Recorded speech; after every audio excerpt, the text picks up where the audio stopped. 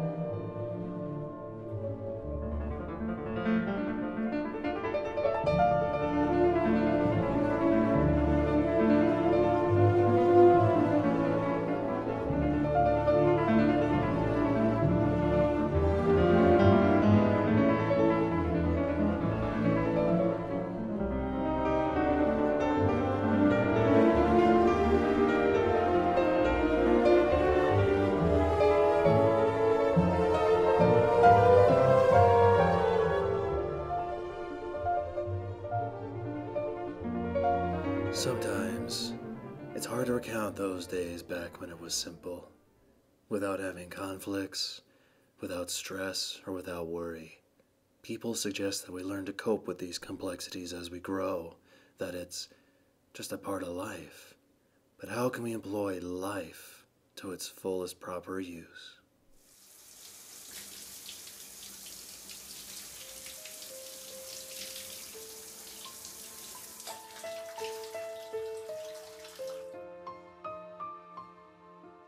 His name was Chris, and it seemed like he never lived at all.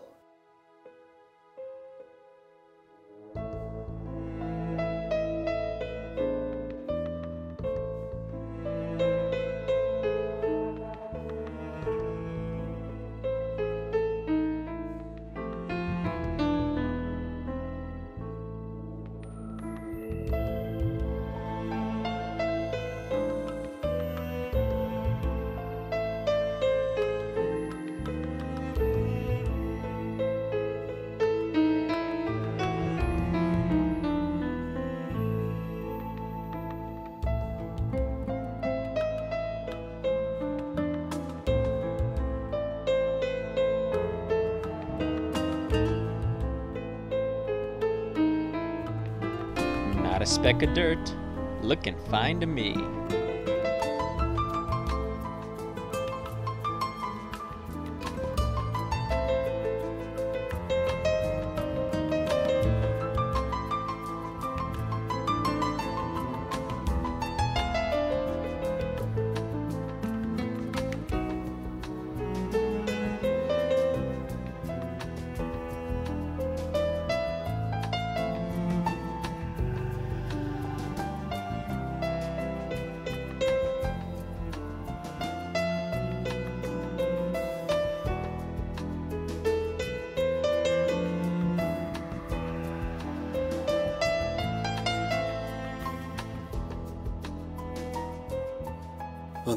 Day, Chris was meeting with old friends, people he knew since those fabled younger times, his closest companions.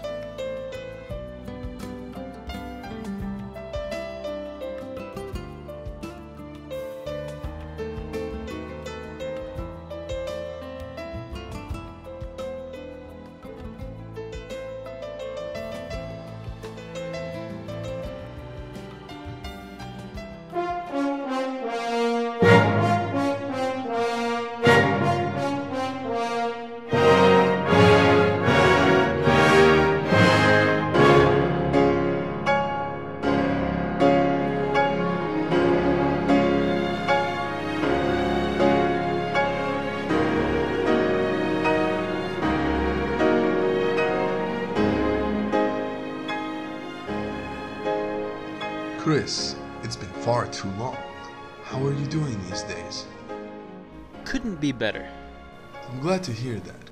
Oh, I've been reading about your work in the papers. You're becoming quite influential around these parts. Oh, you've heard about that, eh? Well, I suppose when enough work is done, somebody begins to appreciate it.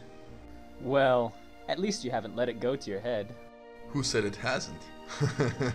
Hey, Serge! This guy isn't working you too hard, is he? Not at all. In fact, I enjoy passing out from exhaustion every week.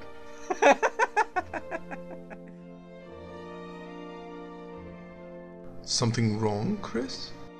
No, it's nothing. I just missed you guys. Age and experience can force us to change drastically. The people we once were are now strangers. The world stops being black and white, and many of us slip into the grays. We start to overlook what we become. And that was after we acquired the Heimenberg building. I didn't think they were gonna sell, but Joe's quite the negotiator.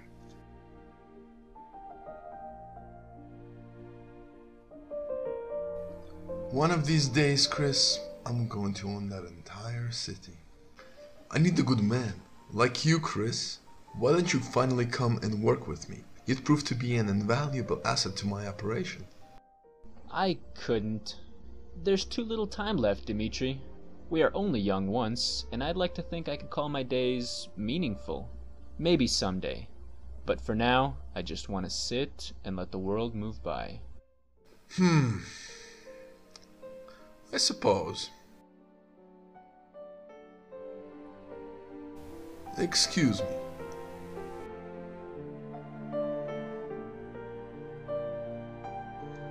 The time we pulled a fire alarm to avoid that exam, would you call that meaningful? We? You just pulled a lever and booked it out of there. I would have been in big trouble if I wasn't so convincing. Please. I talked both of our ways out of the heat, and you were convincing because you looked so pathetic back then. I grew up. Hmm. A little bit. It's good to see you again. I'm not surprised you didn't take Dimitri's offer. You probably wouldn't like it. Although, we could finally work together. That's what I'm afraid of. Same old Chris, cautious and predictable. In the same old Joe, without direction, but still full of pride. Yeah, I guess so. We ought to meet more often, Joe. Grab a drink and reminisce about old times. I'd like that. I really would. Sorry to interrupt, but Chris, there is a small favor I wish to ask you. Earlier this week, I was driving through the old neighborhood and received some nasty malfunctions. I had a mechanic fix it on site, but being that I live downtown, it would give me quite the hassle to retrieve it. I'll say, that's a good 30 miles to squander. Then you understand my predicament. Could you pick up the vehicle and drive it to my home? It would be at the far great inconvenience to do it myself, rather than give you a taxi back. It's parked on the corner of Ulst and Cubic. That's near your parents' house, right? Of course I could do that for you. Hey, Joe, maybe we could get that drink afterward? I don't think so. There won't be enough time. We should do it another day. Oh, come now, Joe. Don't be a wet blanket. There'll be plenty of time to chat. When do you want me to drive it over? Tomorrow, around 7 o'clock would be best. The kids are under the mat, and they appreciate that I can still depend on you. Don't mention it. Look, I gotta get going to class, but we'll be in touch? Count on that until we meet tomorrow.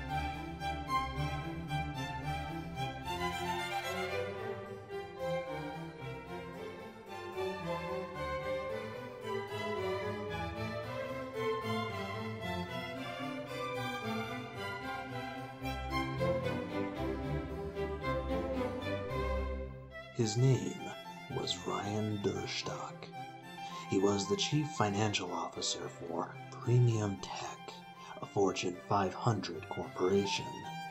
Unbeknownst to the company, an outside group was embezzling funds with his support. But by the time the board of directors found out, half a million dollars had disappeared, as well as Mr. Durstock.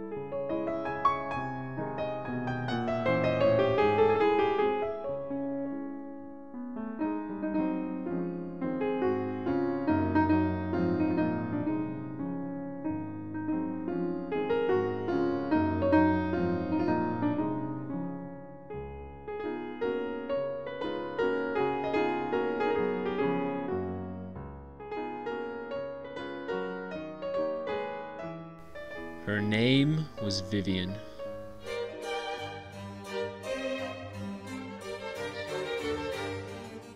Six months prior, a fierce cold blocked everything still, chilling any thought of love or ambition.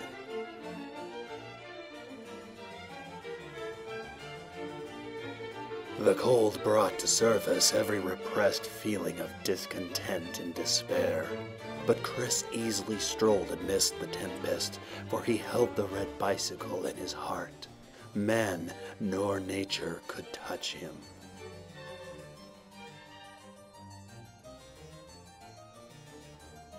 He'd watched the people struggle with their inner contempt, not holding judgment against them, but rather innocent curiosity.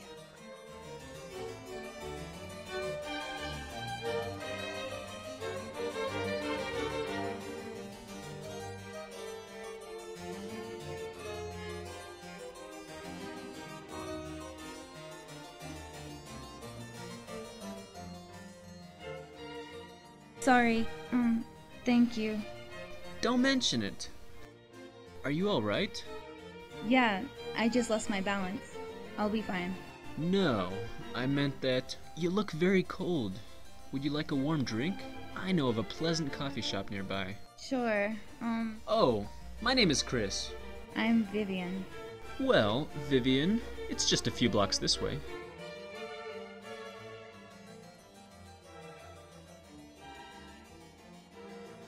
Thank you for the drink. I was actually colder than I thought. No problem. I'd hate to save you a nasty fall and not be hospitable. What do you mean?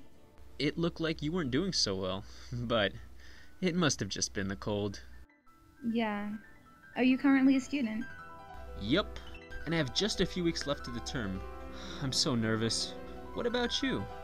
I'm in pre med, actually. you could say my passion is the study of preserving human life, though sometimes I second guess myself. Well, at least you're attending. School is important, or so I hear. Yes, I suppose we do adopt many things to be concerned about. So, what's troubling you? You don't want to hear my problems. I still have a full cup. I won't be leaving just yet. Let's hear your story. Alright. Have you ever put off a decision so much, pushed it out of your mind with all of your will because you just didn't want to make a choice? I have, for a long time now. You would think I could figure it out, but I just think about it differently when it has to do with loving someone. Love? Yes, to value someone, to extend yourself entirely to that person in trust, to care for their well being, almost as though it were your own, and have all that be mutual. Sorry, I am quite zealous about things like this. No, I understand. It's not easy being able to find something, I mean, someone like that. I know it, but the worst scenario is when you have, well, you think you have that sort of love and maybe you can't go after it. You stand still and, in a way, ignore your feelings. Then you would be denying the truth. How do we know if it's real? A person knows because there is nothing else to know. Because when we try to judge all the alternatives, we find only one to be what we truly desire. It sounds like you already have that kind of love. I do, and it's very dear and precious to me. I know that if I tried to love something else, then I would fail. And I feel the same. This man I love is not who I thought he'd be, yet he's the only one I want. Now these feelings are in the way. Are you hurting yourself by denying these feelings or not by acting on them? I fear if I admit them, then they can never be taken back, that I'll love him forever. But then I'll feel guilty because I won't know if I'm right. If you know this will make you happy, then you disregard the guilt. It's meaningless to carry it around because when you're happy, nothing else matters. Maybe I've outspoken my limit. Not at all. It helps to hear advice from someone who knows your situation. What will you do? Life is the longest endeavor we'll ever face, but it is also far too short to not seize happiness when we can. I do not wish to be wrong, but I can't live like this either. I think I know what to do now. Glad to hear it.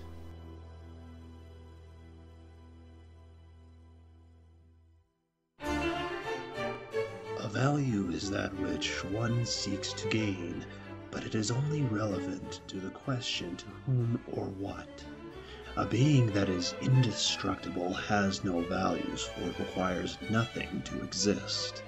Living organisms, however, face two choices life or death. If the decision is life, then values are crucial to its survivability.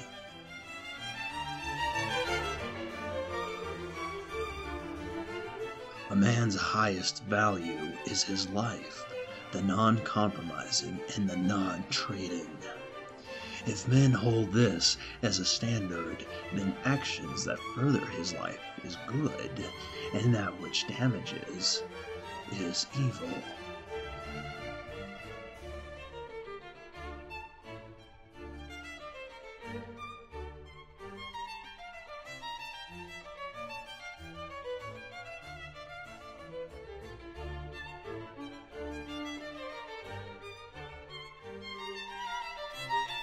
Be right back.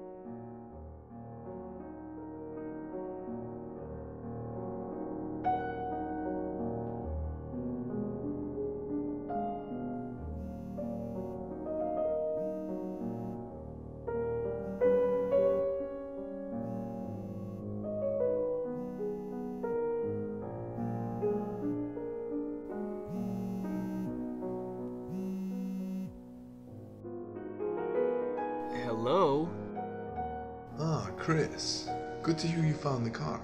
Dimitri? Er, yeah, I did. No problem. Excellent. Are you alright? You sound like something's bothering you. Well, I, uh, just didn't have a chance to go for my bike ride yet. You know how I like my daily constitution. Of course. You mean that bicycle of yours? There's none other. The red bicycle. Now there's a relic of the past. Is it still in working order? Absolutely. When we were younger, I remember how much you toiled over that bike. The countless hours you spent cleaning it and maintaining its pristine condition. It was very lovely bike. It still is. I suppose I can't count on anything less from Chris. You probably will cherish that bike until your end. I, uh, should be there in maybe 40 minutes? I'm thinking possibly sooner, Chris. There's a detour I want you to take. Detour?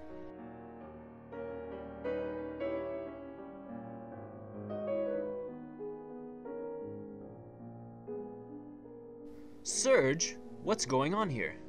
Evening, Chris. You can, uh, cut the engine.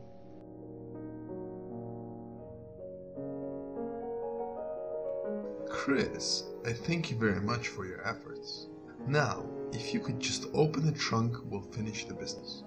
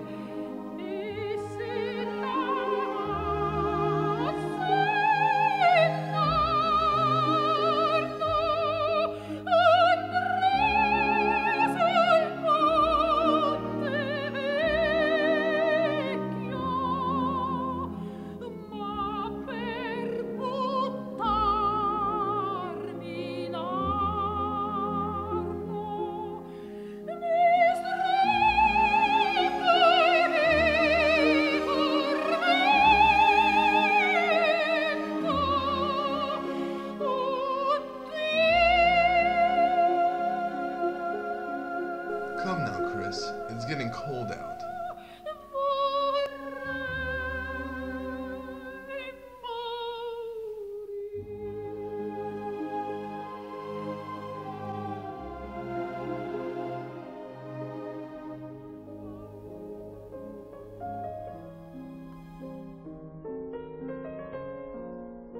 Have you eaten yet, Chris? What say we catch a late bite? Just you and I.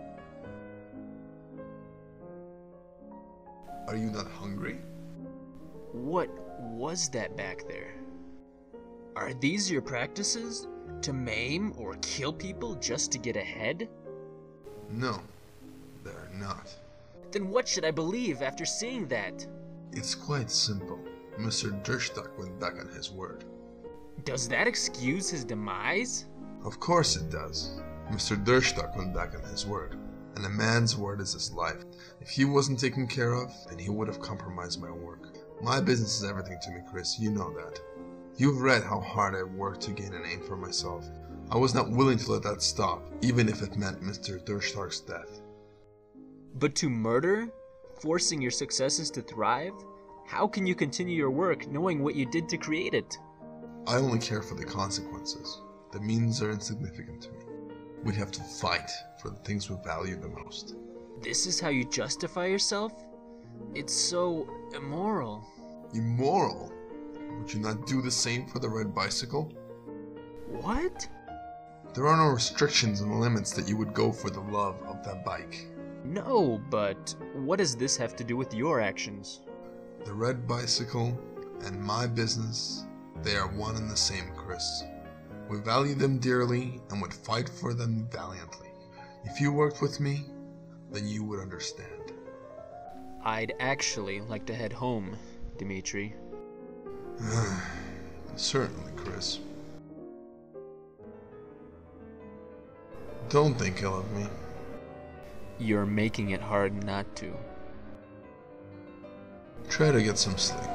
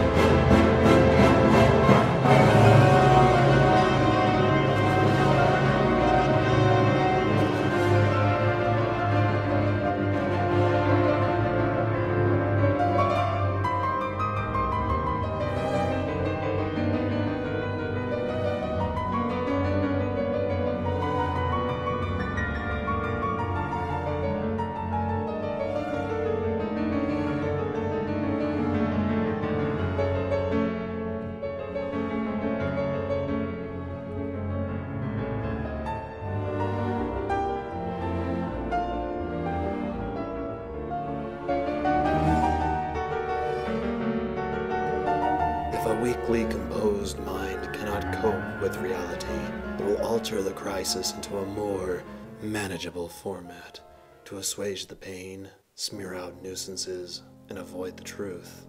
The panic created from the bike's disappearance to force Chris into his dreams.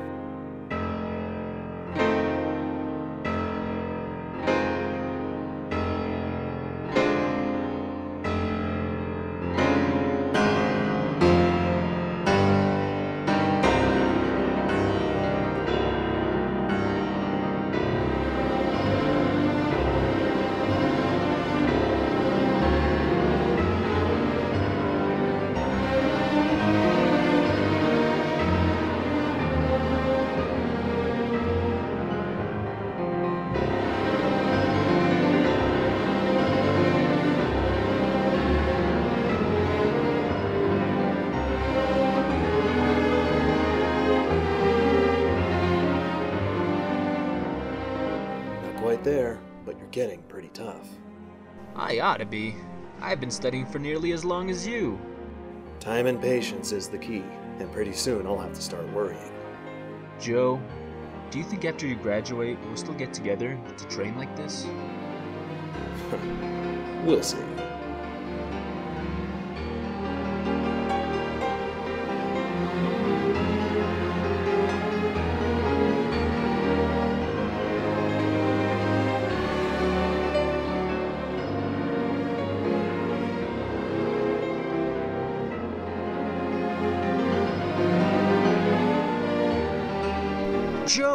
I'm so sorry. Maybe we should call it a day.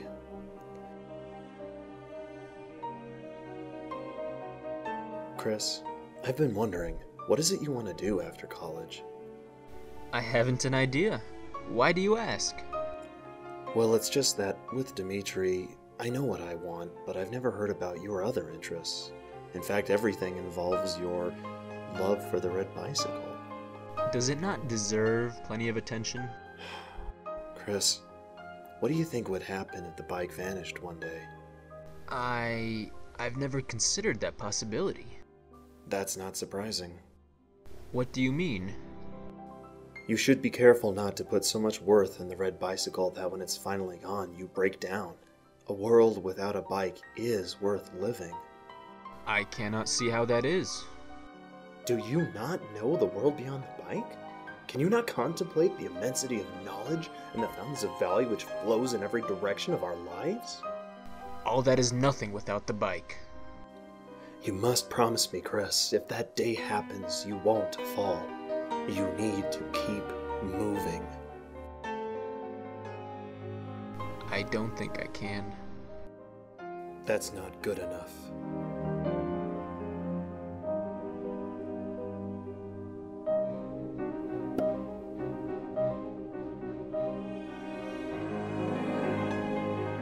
Even slumber goes so long, and finally Chris had to recognize reality.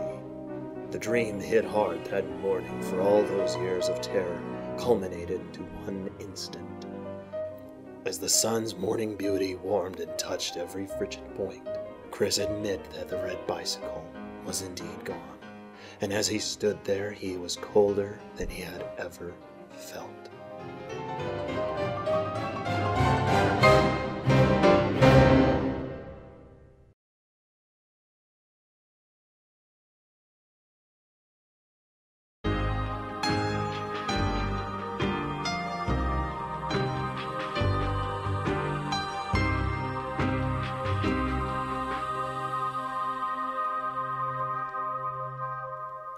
Order to escape responsibility of moral judgment, a man closes his eyes and mind and chooses not to know he cannot be regarded as morally gray.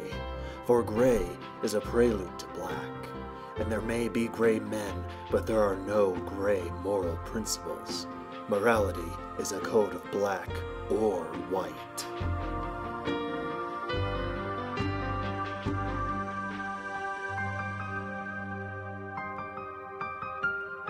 Hello?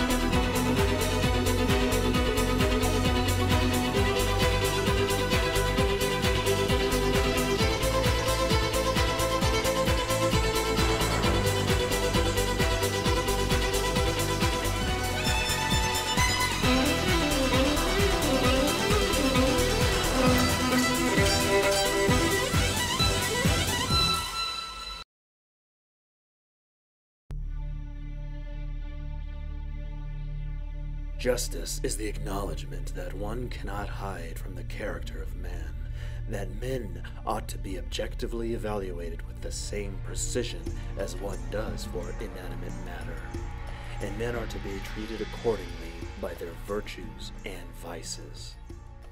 Chris? Hey, what are you doing here? Just stopping by to examine all the success I've heard about. Glad you finally decided to take a tour. This is Gildem Heights, one of Dimitri's first acquisitions. Said he wanted it because it overlooks the city. But I think he's busy right now if you. You'd never deceive me, would you, Serge? No. I just needed to make certain.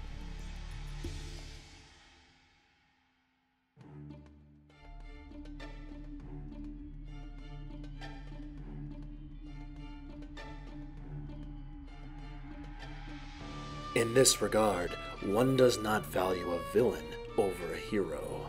It requires basing everything on factual evidence.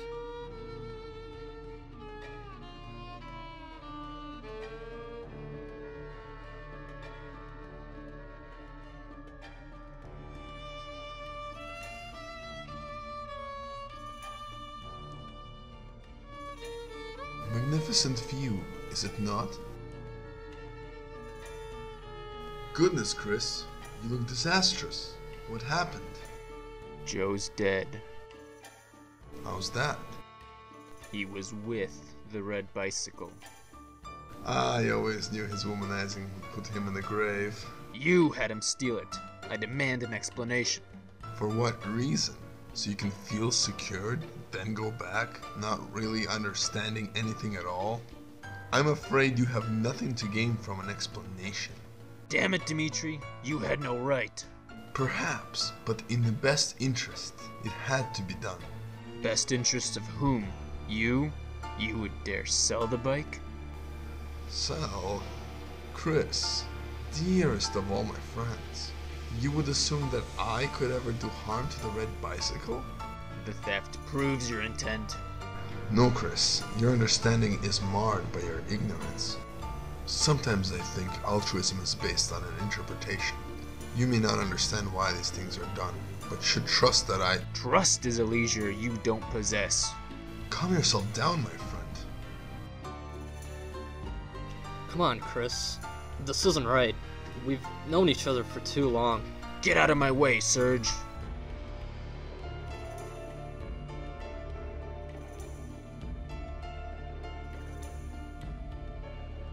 Calm down.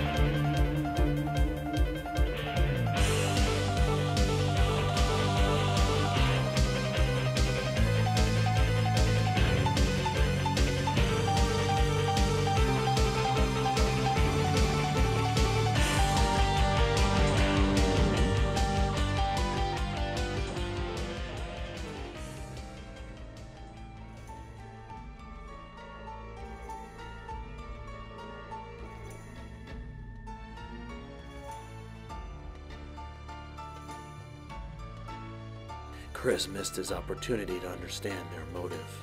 But as his blood pressure settled and his muscles eased, the transpired events held little importance. The return walk began a rush of soothing anticipation. Beyond every immoral deed, through any disloyal friendship, Chris thought he still had the red bicycle. But Dimitri would not compromise. The world kept moving, and but for another brief moment, Chris would lapse into a place where he was unaffected. He knew it was temporary, but it didn't matter. Nothing mattered anymore.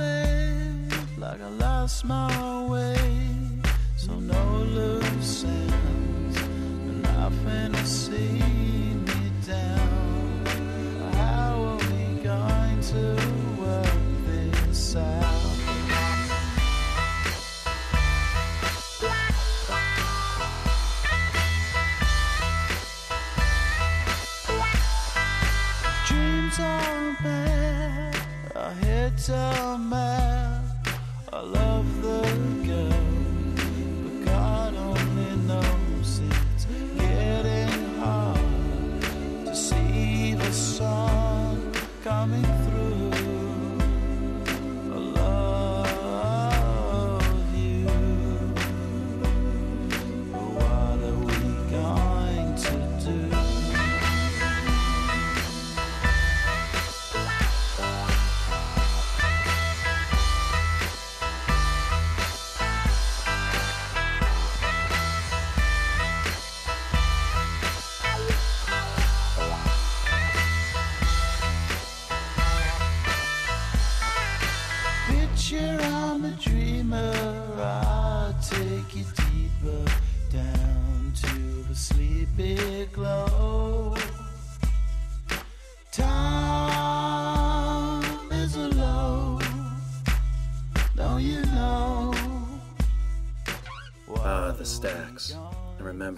used to study down here.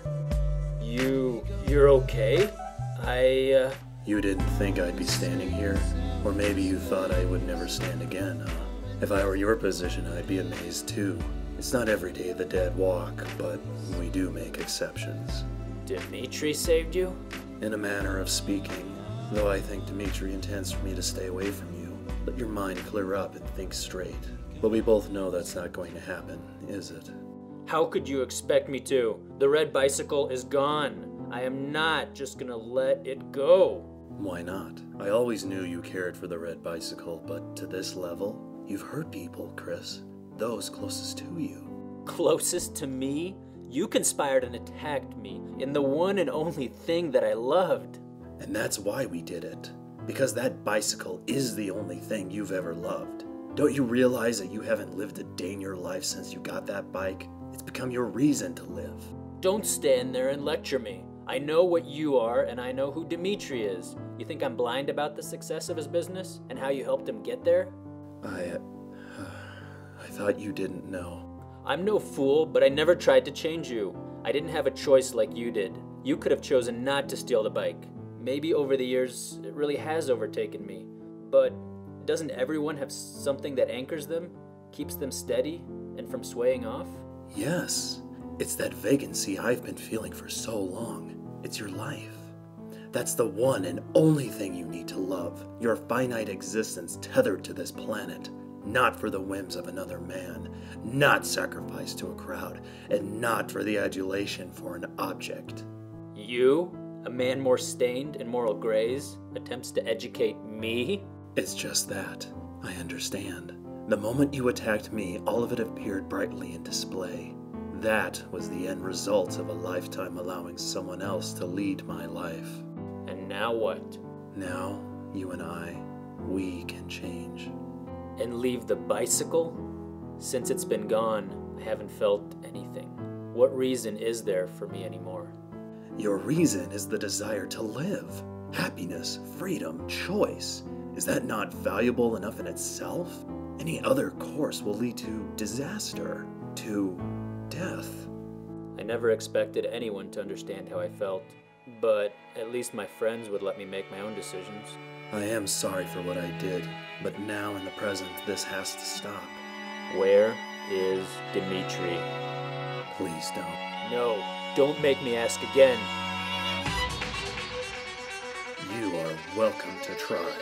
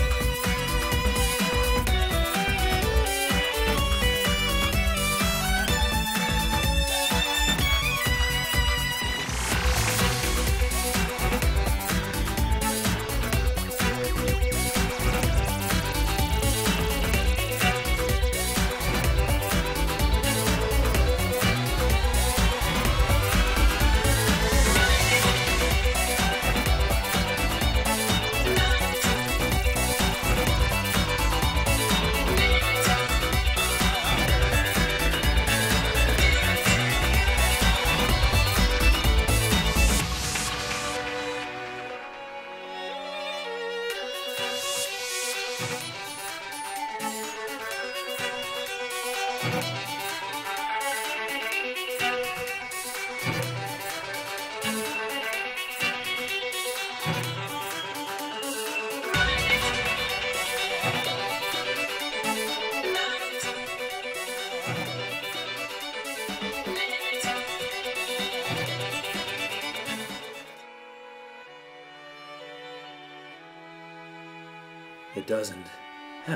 this way. We have the capacity to be better men. Enough! You know where he is. Of course I do. Then just tell me where. The red bicycle is your destroyer. If you go back to it, you'll be forever lost. There's nothing you can say that will change anything now. Is it worse to give a friend what you know is evil, or withhold it and let him suffer?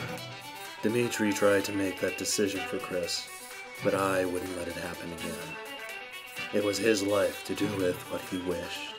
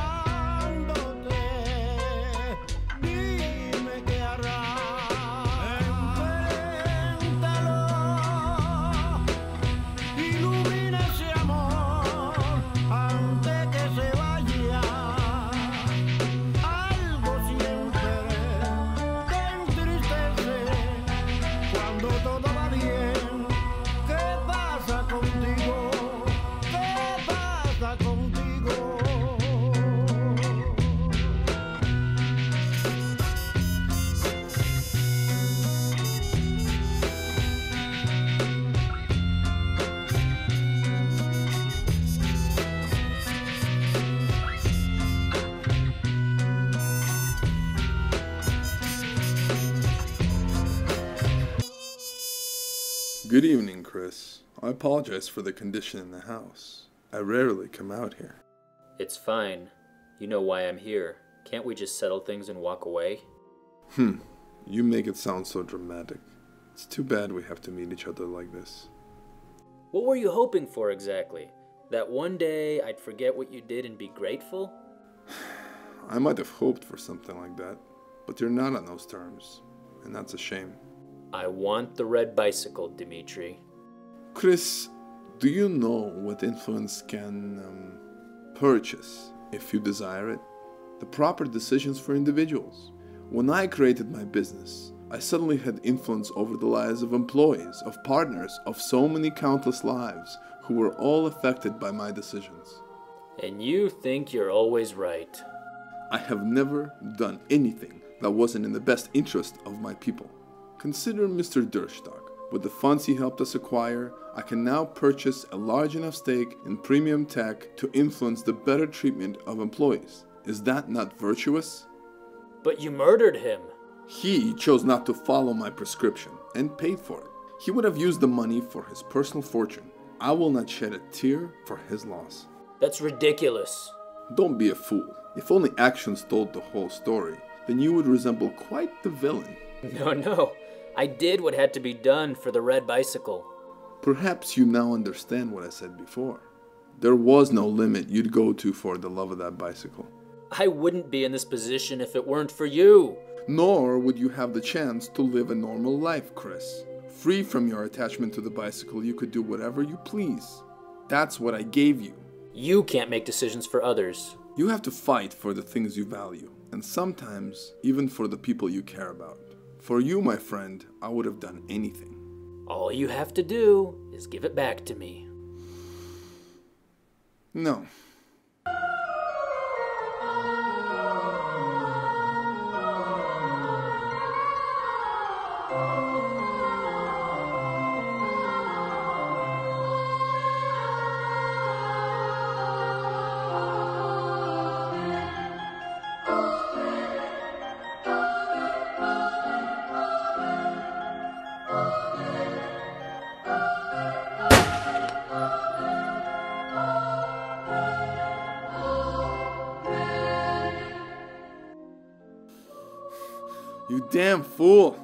Never meant for it to come here. Then, why has it? Because you're the dearest of all my friends. I tried to do what was best for you. Why couldn't you see that? People can't be ruled by others. I chose the bicycle and all of its consequences. Stop talking and be still. Let me call an ambulance. No, Joe was right. It has to stop.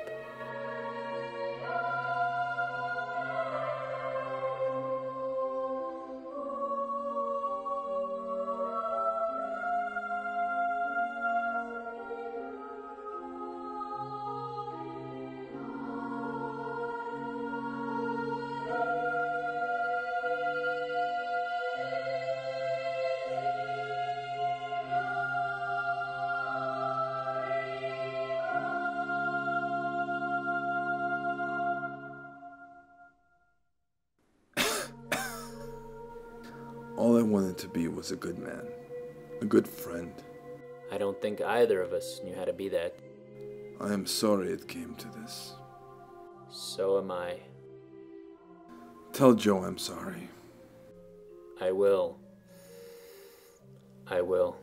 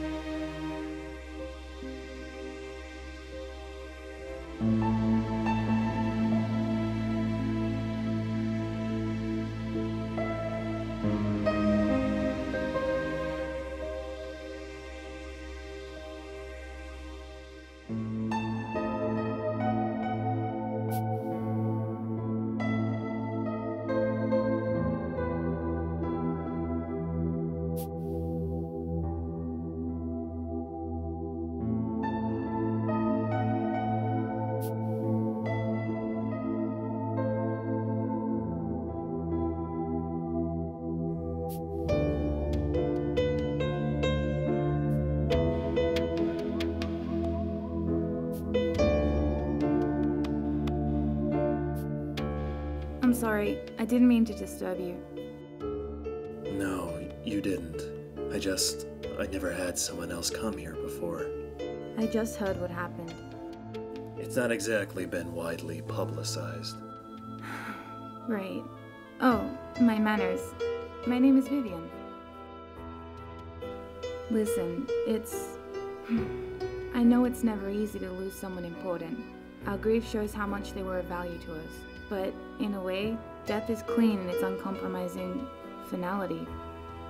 You're right about death, but I'm not mourning his loss. I mourn the life that could have been and why it was lost. The obituary said he died by. No, no, not like that. I meant how a man could use his life without discretion. How we can slip into the moral grace and subsist blindly by the whims of everything else but our own desires. That happiness becomes our last consideration. I once had to ask myself that same question. I didn't know how valuable my happiness was because I didn't think about myself first. I sacrificed it to whomever demanded my energy or time Then why do it? because it was easier than to live for myself. Life, morality, justice, happiness, none of it is easy. But at the end of the struggle, achieving it is worth everything. I almost had to die to learn that. Don't we all in some way? Life, only partially lived, that's nothing. I could tell you quite a story about that. I'd like to hear it, but first, I didn't catch your name. It's Joe. Nice to meet you. So, where does this story begin? Childhood. Simpler times. Sometimes it's hard to recount those days back when it was simple. Without having conflicts, without stress, or without worry. People suggest that we learn to cope with these complexities as we grow, that it's just a part of life. But how can we employ life to its fullest proper use? His name was Chris, and it seemed like he never lived at all.